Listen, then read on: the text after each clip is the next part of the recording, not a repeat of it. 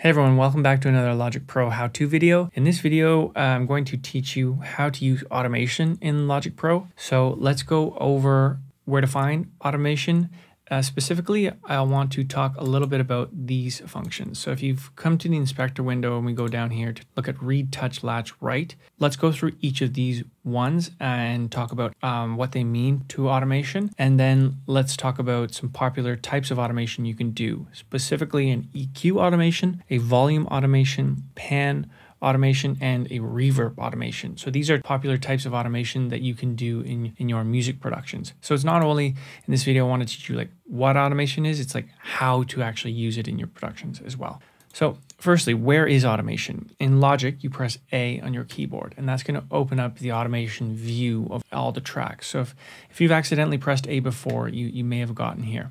And um, by default, every track will be on this drop down here, it will be read. And you typically want to have it at read all the time, and you'll learn why in a little bit. So when you press A, you now have the ability to automate things. So a little bit of a kind of back information, if this is a step too far ahead of you right now, automation is the ability to automate certain tasks inside of Logic. So for example, your drums get louder over time, or your electric guitar here, the reverb gets more wet over time, so it sounds bigger over time. And notice how I'm saying over time. It's as the song progresses, you automate things. So I'm going to show you how this is done in practice. Let's take a, a, look first at doing everything in read mode. You can just make sure this drop down here if you want to follow, make sure this is in read. So in read mode, it does take uh, a little bit longer because you have to do everything from scratch. So what I want to do in this, this section here, so we're going to focus on the drums. Okay. So I want to do some type of automation where it actually does a EQ automation. So I want to make it sound like the drums are rising up over time, like kind of like coming out of water. How we're going to do that is actually add an EQ. And you can see I've done it here. I'm going to do it from scratch again. So we're going to need to add an EQ by pressing this square. Now we can just close that down if we want, or we can just have it here. Actually, let's have it there so you can see it in action. Click on the track you want to automate. Go to this drop down and find the specific parameter you want to automate. In this case, we want to automate a high cut frequency. Notice this stuff here, one, two, three, that's respective to the plugins on the side here, one, two, three. I have a UAD plugin it's a paid compressor plugin. This is a Soundtoys kind of saturation compressor plugin, and this is a, a channel EQ here. I'm going to show you a little trick here though. If you, what you should put on in Logic is under Mix, this one here, Auto Select Automation Parameter in Read Mode. So have that checked because it's likely not checked because it's not by default. And I'm going to show you what happens here. When this is on, you can go to any plugin in Logic and click in the plugin the thing you want to automate. In this case, I want to automate this high cut frequency. So watch when I click on this, notice here how it says high cut frequency. That's because I just clicked on it here. If I want to do a low cut frequency, it goes low cut frequency. So this, if you have that on in mix, then you don't have to go searching for it. So that's a little trick there. Okay, now that I have this clicked, now this means that we can click in here and it's going to generate our automation line. All automation looks like a line, and the line is different based on what value you have here. Quickly, for example, if I just go down quickly to this track and click in, now I'm affecting the volume. I can automate the volume. More on that in a little bit. So we want the drums to come out from the water, right? So we're gonna have to go down. See how I notice when I pull down on this, it's going to also pull down on the EQ. So I can click a dot at the beginning and a dot at the end and I can raise this up over time and watch how this will sound.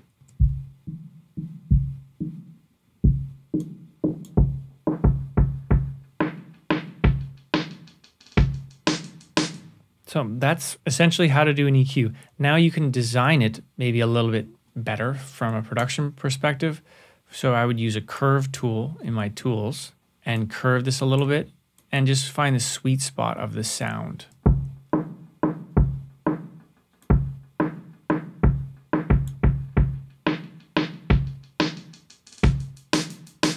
Then it's more of a subjective production thing here, finding the actual like feeling and sound of the automation, but that's how to do the automation. Now let's do a reverb automation. So let's go down to our electric guitar here and just have a listen to it.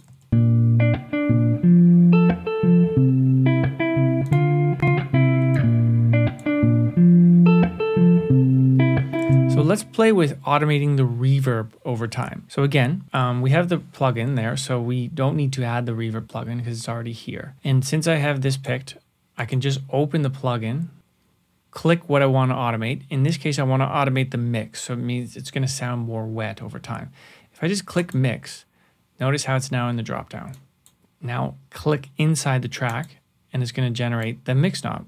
Watch, look at the mix on the plugin. Here's another little trick. If you add the marquee tool in Logic here and you make a little square, a marquee square, and let go, then click in, it now creates two dots in the end for you. So it's, it's just a bit faster to, instead of making four dots yourself because now I can essentially make a shape here and not affect anything after this section. For example, if I just want the pre-chorus to sound like the guitar is getting a bit more wet over time, but then come back in on the chorus. So this is what this would sound like.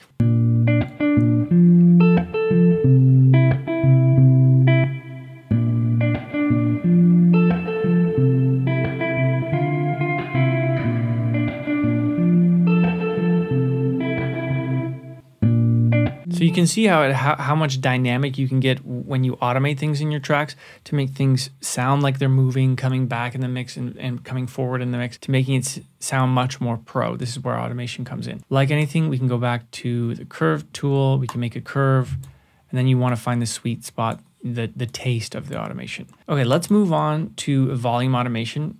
So by default, volume is there by default in the dropdown. So you just have to click anywhere. So if I just click, you know, this one, it will give me a volume. I can just Command Z that to get rid of that. I can do the marquee tool or I can just click lines in. You know, I, it doesn't really, it doesn't matter if you want to. You see how detailed you can get with volume or not only volume, but any automation. You can draw these, these shapes, you know. I mean, that would be kind of a ridiculous automation, but watch how easy it is to er, erase, click and drag to the right. Or I can right click here and delete visible automation then start over. So typically maybe you want it just to slow down over time or to increase a little bit and we can curve it like that.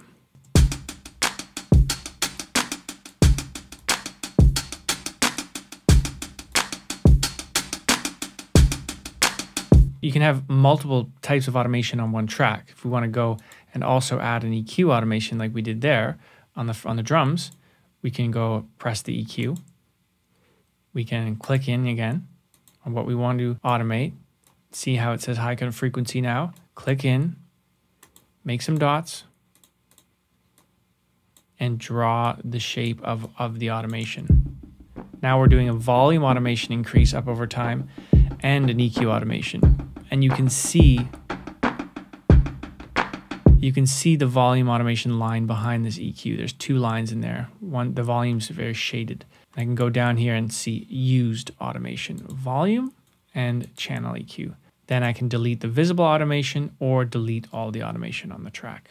Let's look at another type of automation using a pan type of automation, which is in the popular automations drop down here. I've, I've highlighted here for you, but you can see under volume, if you don't have any plugins, then it's going to look, you're only going to see Smart Controllers volume and main. So under main, volume, pan, solo, mute, these type of things are there because they're main things to automate. So we can automate the panning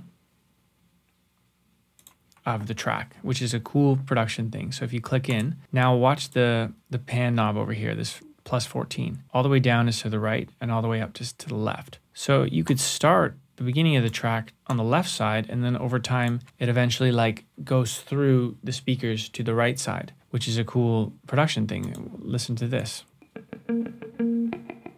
It's like coming across the back of your head onto the right side. Or if you could get more creative, you could go down up really fast and make shapes like this.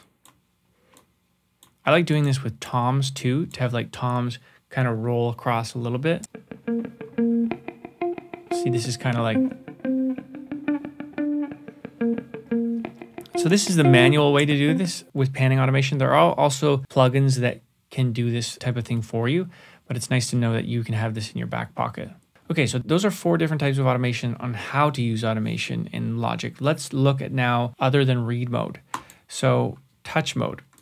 So read mode is you just draw it yourself. Think of read mode as like you're drawing the automation yourself, like we did here with these. Touch mode is actually, think of touch and latch is basically the same thing. There's one small difference, which I'll explain now. So touch and latch are the same thing with respect to when you have it on touch or latch it's going to program and automate that thing in real time. So I'll do it with panning. I'll do, I'm going to erase the panning one we have here and I'm going to redo it, but I'm going to do it in real time by actually using my mouse. So I'm going to press play at bar 13 and when it hits my little region here, I'm going to automate with my mouse and it's going to program that in for me.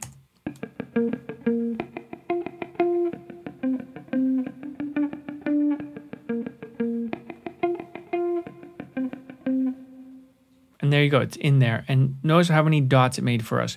We can now go in and edit those dots if we want. So that's latch. With touch, it's the exact same thing, but with touch, it will bounce back to the starting point it was at. So, for example, if I just delete that and go to touch, and let's say I'm on I'm on zero, right?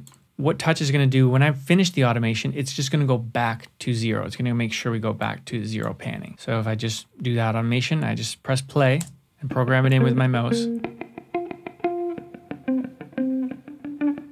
See, watch when I end, maybe I'm gonna end all the way left and let go.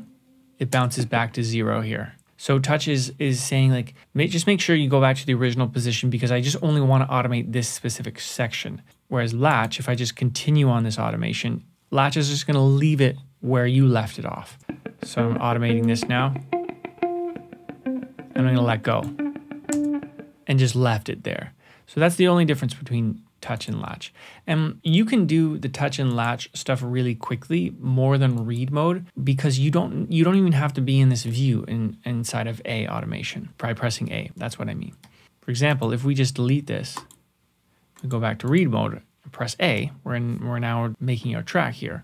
If we were like producing our song and we're like, oh, I just want to automate this guitar a little bit to the right, well, all we have to do is go to this one you know, press touch, press play, automate it a bit,